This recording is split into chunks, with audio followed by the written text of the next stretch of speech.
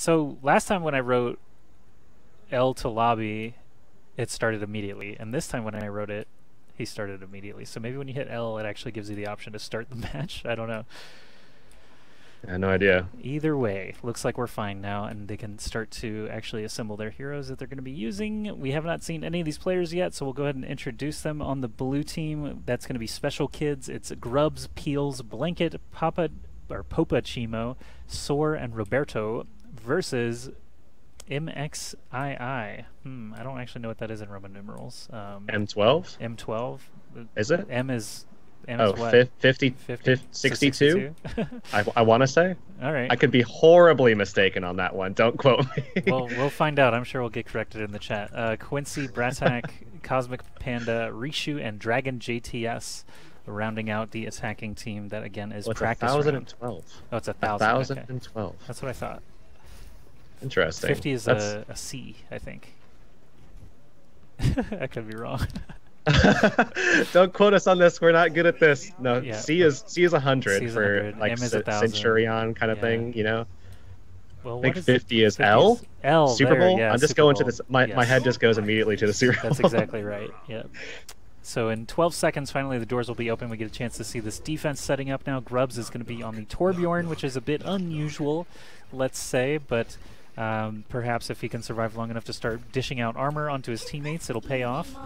And on the attacking side, let's see if there's anything oddball. Looks okay. Again, you've got a Pharah with no mercy, which I find kind of kind of interesting. No Ana in play on either side. Um, but we do have a Mercy on the side of the defense for those reses if necessary. Otherwise, um, Zenyatta is in tow on both sides. We're going to be seeing some aggression early here from Quincy, and uh, he might actually be caught out, completely exposed and isolated here. D.Va going to be body blocking off that health pack as well. Really smart stuff here from Peels on the D.Va. I mean, really good job to deny that health pack from him. Well, so far so good for the defense. The cart is stopped up right in the uh, archway that you tend to see it stopped at very often. Reinhardt's doing a good job basically keeping the cart from moving any further, and Soldier 76 right behind him able to just blast down those sight lines. Now the cart has progressed enough where they can actually get a good view of the right side stairs where Winston is jumping in now. Cosmic Panda is going to get lit up though as Soldiers, Zenyatta, and Mercy all jump on him. Now Pharah jumping into the action a little bit late there. Uh, does get taken down as well, so attack will need to regroup here and try not to lose any more players in the time being. We're seeing actually the tanks here on the attacking team just being very aggressive. Quincy before got isolated out solo, and then this time around we actually saw Cosmic Panda going in, getting isolated, and killed off solo himself. So we'll see if maybe they can actually go in together here, get some semblance of some uh, team-wide execution, and, and not get isolated by these DPS, and, and really kind of peels here on the D.Va as well. Well, Pharah Rishu found a good target to shoot at, but unfortunately splash damaged himself down to about 18 HP and to get out of there uh, before finishing off the Mercy. Roberto does have a res available on the defense as well. Uh, but either way, now got Transcendence being triggered here by MX-11 over on the defense, or excuse me, the attacking team, trying to force them through the point here. Soar on the defense is going to answer now, but uh, at this point, it looks like the bulk of the kills are still ending up in favor of the defense as the cart still has not moved. The supports are a little bit scared to push past the cart itself as Lucio and Zen are kind of the last couple of survivors. Popachimo and Blanket finding a couple of kills there. They're going to chase everyone back to spawn. Grub's getting in on the action as Torbjorn as well. And suddenly there's only 90 seconds or so for the attacking team to try and get through this first stretch. And if any of you guys are wondering what's going on uh, with the match reports and stuff like that, just to see match scores, if you guys are wondering what's reported, what's not, make sure you guys check out uh, the website and then go to the actual groups where the page uh, where all the groups are listed and everything like that. You have to actually click on the groups to see the individual scores. So if you guys are wondering what's going on with that, make sure that you uh, follow those specific directions make sure that you can get those uh, reported scores that have happened already here. But up top, Blanket on this uh, soldier with a nice little flanking spot up here on the high ground, and already the barrage coming down as Rishu gets denied by Grubs. Well, at this point, defense still just holding strong at the choke point. Reinhardt's getting in on the action now. He's got a charge pin kill onto Bratak. Still has the Earthshatter ready to go, but Peels, his teammate, takes out the enemy D.Va and Lucio with a suit explosion. So everyone on the defense getting in on the action here. 40 seconds left for the attackers to try to stop the bleeding here and make use of that Primal Rage and Tac Visor just so they can try to bust through this first choke point. Peels again getting aggressive, denying a lot of that pressure, mitigating it with the defense matrix. And look at all these ults stacked up here. Sora Roberto ready to go. Transcendence at the ready with that backup of the Resurrect. And these tanks are getting aggressive once again here on the attacking side. Cosmic Panda looking for the kill on the Mercy, but he's going to get protected by the Transcendence. And the Transcendence was really good timing there, coming in right as Mercy was getting low on health. There's the attacker's Transcendence as well. Now Bratak gets a couple of kills with the Helix Rocket, and the Res only brings up Reinhardt, so um, perhaps committed a bit early, I'm not sure. Bratak gets a kill there with his Tactical Visor, but Blanket answers right back with a kill of his own on the enemy D.Va. Sound Barrier might be the last chance here for the attacking team to get this cart moving again, but Popachimo is back in action with the axe swinging, and the cart is going to be stuck right there next to the fountain in the first stretch. So really good stuff there for Special Kids on the defense with that first point hold. Makes their work look pretty easy, but sometimes both teams are just bad at attacking. We have really no idea what we're going to see uh, once we switch sides here they had a lot of difficulty actually dealing with Grubs on that Torbjorn. It was really tough for them to actually get him when he was kind of insulated up in that back corner in that hallway with the window. And, you know, just had that turret down. The pressure there from Rishu just wasn't enough to actually take the turret down. So he was able to, you know, regardless of his ult, regardless of that molten core being up or not, you know, he was able to dish out a ton of damage with that turret, really putting out some pressure with that left click as well, kind of shut down Cosmic Panda a few times when he got aggressive outside of his barrier, where he was just throwing his left clicks into him and taking him down pretty quickly. I mean, he didn't convert as many kills as you probably would have liked to have seen from someone in that position who wasn't really getting checked all that much. But the pressure alone was kind of what allowed Popachimo to dish out all that pressure that he was able to get out there on the Reinhardt and find those kills at the end and take it out of overtime and allow them to get that first point defense. Yeah, it's interesting that Roberto decided to res only Popachimo, and it did end up making a big difference when he came back in, just being pocketed and, you know, being that wrecking ball that he is on the card itself, was able to get the job done. But now, uh, only 30 seconds to go until we get to see what the next squad special kids can actually do on attack.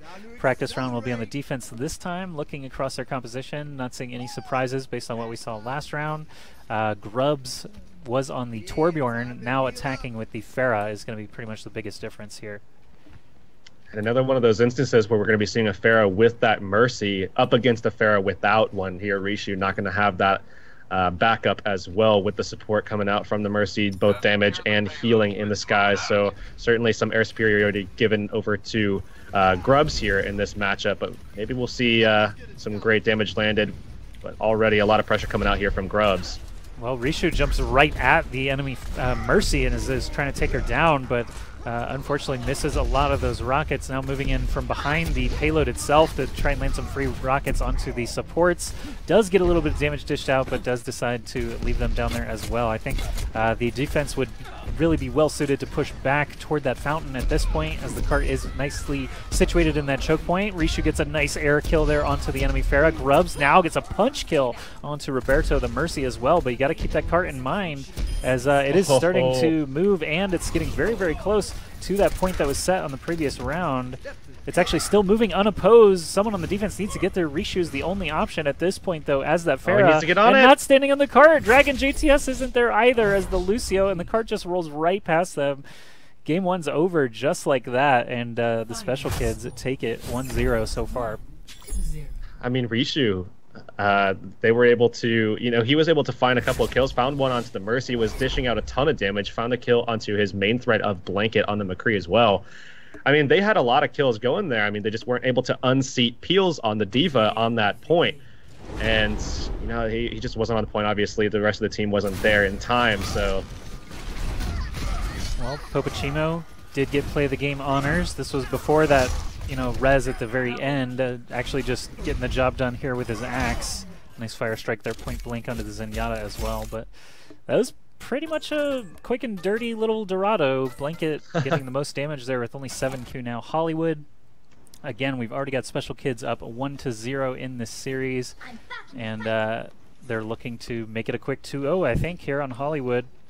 You can see the defenders practice round uh, locking in some early heroes here. It looks like they want to stick with Zenyatta Lucio, Rishu on the Pharah, Cosmic Panda I believe was playing the Winston, Bratak on Soldier, and Quincy on D.Va. We'll see if Cosmic wants to play a, a, different tank this time around, but Winston still pretty darn good in most situations. Zarya did get a little bit of a buff on her ultimate, so have seen her come back a little bit this patch also you still typically see, you know, what we call uh, more of like a pillar tank, or uh, there's some other words that are kind of tossed around and used as well.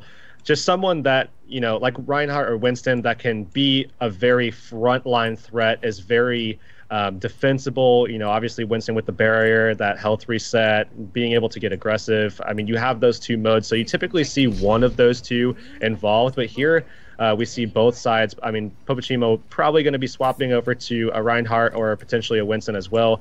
But on the defensive side, it's it's more more or less locked in here, is it not? I mean, Cosmic Panda not going to be bringing out a Winston or a Reinhardt. He's going to be on that Zarya, so they're not going to have one of those, and they're really going to be kind of uh, banking on just that aggression, that that kill threat, that lethality from Rishu and Bratak, and to some extent actually the Zenyatta as well.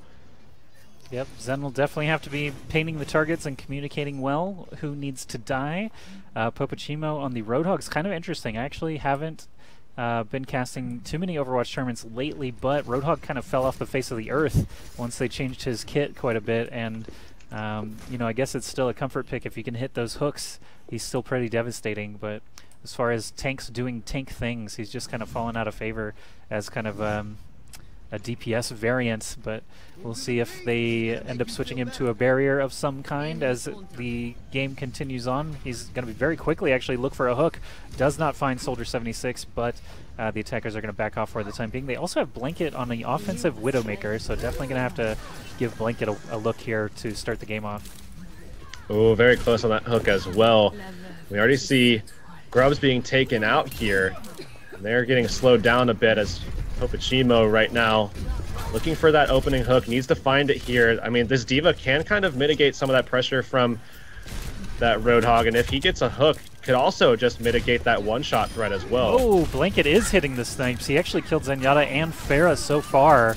Uh, the rest of the kills have been very slow and steady in between. Actually, no no other kills even happening, but that's because they're all hiding from the Widowmaker. So another nice shot there onto Quincy, already demechs gets taken out. And another one on Dragon JTS. Blanket is the secret weapon here, landing tons of these Widowmaker shots. I picked a good time to watch there, uh, nailing that Lucio, but that's going to be point A pretty much wrapped up in about a minute and a half. They were slow and steady to get their foot in the door, but uh, you know, once they got in there, they just kind of wedged it open, and um, this is going to let them capture in about 90 seconds the Widow actually allowed them to get a little bit more aggressive with their positioning too, because they were having trouble getting past SUV up in the, the entryway of that point A, and the Widow just having that that potential for that quick kill, that quick pick, they were all kind of forced to go back over to the point, which allowed, of course, Popocchimo, Peels, and, and, and the rest of them to just get very aggressive. And a Ooh. nice hook coming out onto Bratak. He's going to get taken out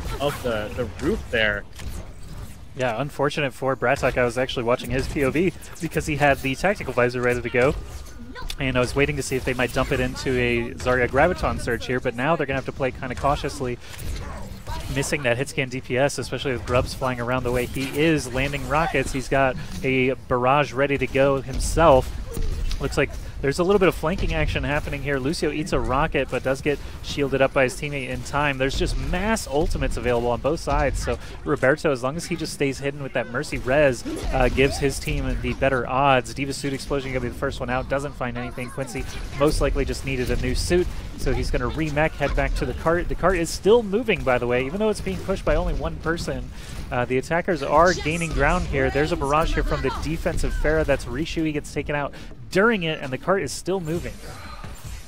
Uh, they have been continuously pushing this through the streets phase with not too much of a defense here coming out at all. We do still see that Graviton being held onto. I mean, they've they have had a couple of opportunities, but just haven't been able to execute on any of them because they've just been taken out one by one by one. Is exactly what we saw in the last matchup, where they're just following, they're they're, they're just following one by one here. They're finally going to make a defense, but it's not really going to amount to too much because they already got that second point. Their spawn is so close. I will say Cosmic Panda's been pretty quick on the draw with his Zarya bubbles, like protecting teammates, but uh, the Graviton Surge, yeah, again, he just has not found a good moment to use it. And uh, Bratzak in the back as a Soldier 76 almost finds a kill on Widowmaker before Mercy shows up, but doesn't survive long. Popocimo with the Roadhog hook takes out the enemy healer as well. MX11 going to be taken down there or MXII, however we're choosing to say his name. Soar on the other side, the attacking Zenyatta does have Transcendence ready to go. They still have that res, they still have a barrage.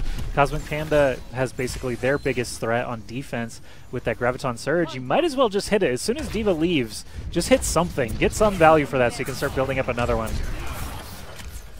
They're already going to be losing Bratzak there, who was positioned pretty aggressively and now Grubs just surveying a little bit, making himself useful up in this back line. Going to have that barrage ready to go, and nobody's going to see him at all. He's going to be able to unload into this Mercy if he wants to.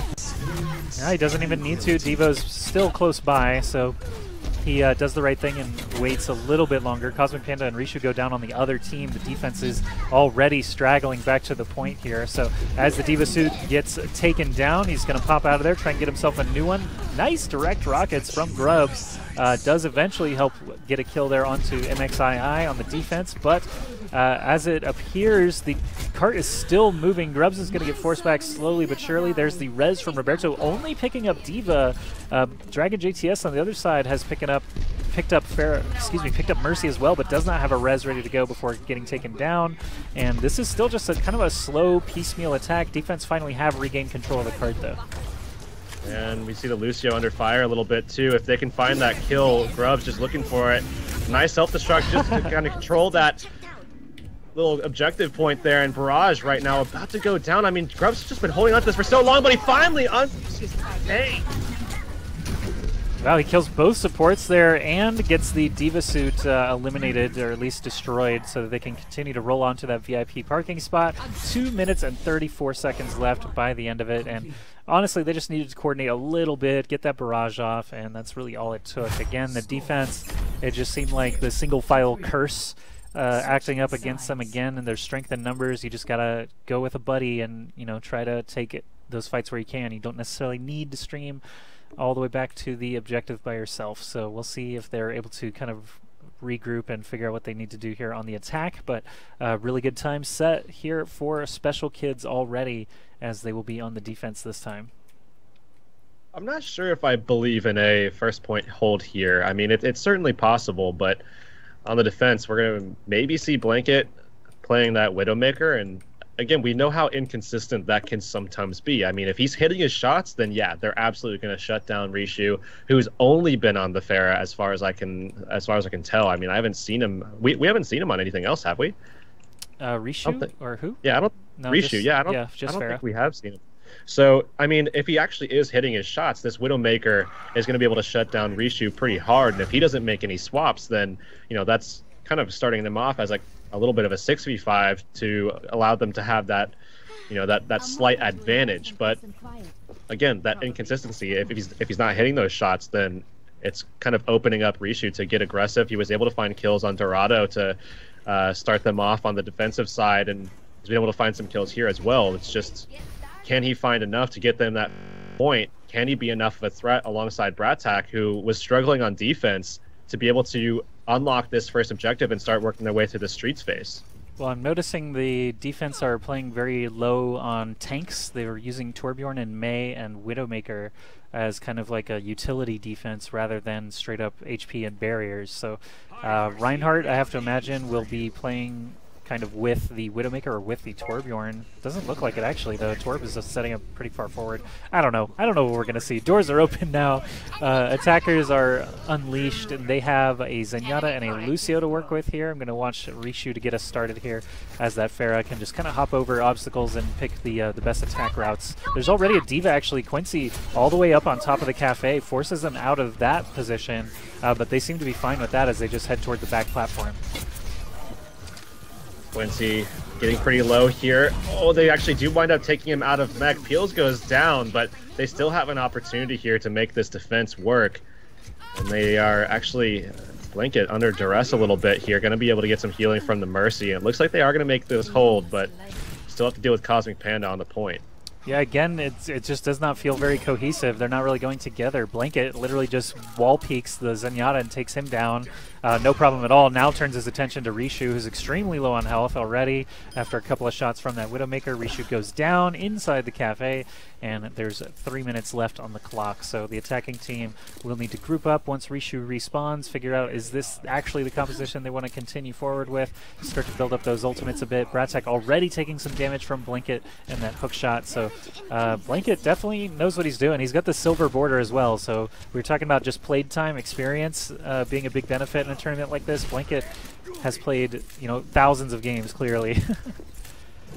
yeah, he's definitely played a lot, and he's going to have that uh, Infrasight coming up pretty soon here. It actually does pop it pretty early just to get a little bit more information. Cosmic Panda trying to get aggressive, trying to get a little bit of damage into him early, but not going to find anything as of yet, and that's going to be Grubs popping that Molten Core. They find a kill onto the D.Va. There, again, just wiping the floor with these guys. Yeah, Grubs gets kills on D.Va and Winston, so no tanks to speak of here for the attacking team. Again, forced back. They've got two minutes to work with. Bratak trying his best to survive, actually does get taken out late by Mei, of all people, so they will need to back up again as uh, Bratak respawns there. They are starting to get some ultimates coming online, but Rishu now bites the dust off on his own. Just a little bit too exposed there. And again, they need to regroup. There's no point in attacking in 5v6 if you couldn't get it done 6v6, and you don't have any ultimates to work with. So now 130 remaining. Definitely going to have to rely on Bratak and Rishu here if they can. Dragon coming up pretty soon with a sound barrier that they're definitely going to need to try to combat Soar there with the Transcendence. R Roberto actually sitting on a Re Resurrect as well. I mean, uh, it's going to be pretty tough for them to try to get in here. They're going to have to get some early picks and try to put some pressure down onto this Mercy to take him out of the equation so that they don't have to worry about that threat of that Resurrect. Well, they took out Torbjorn's turret really quickly. He's starting to build up another one now, but that's like at least a small window that they could have used. However, MXII does go down to Widow again. Headshot uh, says the kill feed there, and suddenly the attackers are dropping like flies. Uh, Peels is going to get brought up on the defense playing that Reinhardt. And he's actually just sitting on an Earth Shatter as well if things do get out of hand. There's a Winston Primal Raging, but he's frozen and has an Orb of Discord, and he's going to get pinned out of there. So that was not a great day to be a Winston. 36 seconds left, and the defense do use their Transcendence, so uh, they only have the Blizzard and Earthshatter to work with, but I have a feeling that's going to be enough. They've been playing with less than that throughout the course of this defense and holding pretty well. Blanket again finds a headshot kill, this time onto Bratak the Soldier. Oh man, Rishu found a couple of kills, but with the barrage going down, now they have to they basically have to go in on this because he found those two kills, wound up dying right after. Mei gonna be shutting down the aggression from that Winston. Oh man, the Zenyatta comes down. They need to apply pressure onto Blanket and a nice Earthshatter coming out. Gonna be able to, to take out Dragon and Bratek in the process. It's basically just Panel at the point it again. Yep, pretty simple case of Blanket finding a headshot kill and Reinhardt dealing with everything that's still on the ground. Cosmic Panda's near the point but unable to contest. He was super low on health anyway, so even if he had gotten down there, that probably would have been uh, over pretty quickly. But that is going to be it. Special Kids take the map Hollywood and the series. That's a 2-0 for them. Uh, congratulations to them. Special Kids moving on in their group, or at least improving their record in their group. This was their first match of the day, so uh, here we see Grubs as Pharah getting play the game. I believe he got a double barrage somewhere. Yeah, toward the very end. this is the one he was holding on to for so long and was able to uh, basically just kind of wait it out, wait for that perfect opportunity to allow himself in that really kind of perfect spot as well. Didn't really get denied at all by the D.Va that was in the area. Uh, Quincy wasn't able to mitigate any of the any of those rockets coming out of the chest of that Ferris, so was able to kind of wipe the floor with the opposition and, and get that objective just shortly after. All right, well, nobody's eliminated here or anything like that, at least. So the practice round can kind of uh, maybe watch this VOD or figure out if they have some other strategies. They're going to be seeing some more excellent group stage matches. So, uh, Hirix, anything you want to say before we uh, give our final sponsor shout outs and all that and take off for the day? Yeah, I mean, we saw some great, great stuff from uh, two teams, especially. I mean, both of the matches we got the ability to kind of glean a little bit uh, of what's to expect, I guess, from groups three and four, desktop support, and uh, I believe it was what Special Kids, I think, is the team that we just saw win. Um, uh, do really, really well in their first opening matchups. I'm definitely excited to see what the future holds for these guys. And, um, you know, I, I feel like desktop support is a team that we'll be seeing later down the line in the championships uh, bracket as well. But as for groups, which is going to continue, of course, tomorrow, uh, we'll be able to see some more teams, see who, uh, kind of what to expect for the champions uh, bracket more so than what we are able to glean from from today. And uh, I'm looking forward to it, man, because today was fun. I've definitely been enjoying the tournament and uh, looking forward to more. Yeah, we have a lot more matches coming tomorrow and Sunday. Again, that's noon Eastern Time, 9 a.m. Pacific. If you're like me, all the way out here in the West, uh, got some nice morning Overwatch for you guys. Same channel here, uh, twitch.tv slash CEA. But uh, again, just to close out the show, this is the second Canex Championship Gaming Series here. We got the military uh, Canadian Armed Forces battling it out against each other for some fun prizes and stuff. We've got uh, basically $400 worth of prizes for the first place team. Everyone on the first place team will get an MSI GT Dragon Summer Bundle, a headset, a gaming mouse, and a mechanical keyboard. The second place team will get that same summer bundle and mouse, uh, but will not get the headset or keyboard, so definitely coveted first prize there. Uh, again, the sponsors for the event are MSI, Asus, Acer, NVIDIA, and Cougar. You can check out canex.ca to find all of those products on their website. They've got a computer sale going on now until August 27th, and you can get exclusive discount, uh, excuse me, exclusive discounts with your CF1 card. So make sure you've got that ready to go as well as you check out some of those awesome sales. They've got a bunch of laptops and uh, gaming equipment um, with some markdown prices. So go check out canex.ca. They sponsored some giveaways for us as well on Facebook. Don't forget, uh, if you are just watching or uh, if you've already been eliminated from play, perhaps you can win some of those Facebook prizes. Uh, we'll be doing those for the first couple of games on the stream tomorrow. So again, noon Eastern. Make sure you're here for those Facebook giveaways. A CF1 card is required.